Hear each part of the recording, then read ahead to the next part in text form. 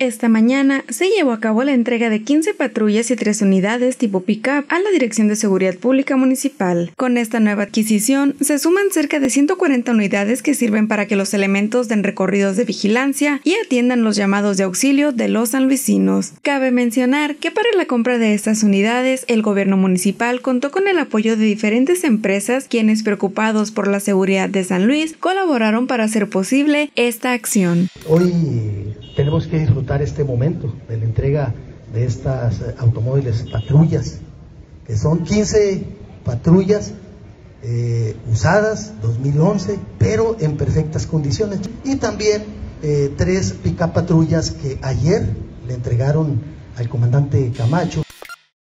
Midori Becerra, Mega Noticias.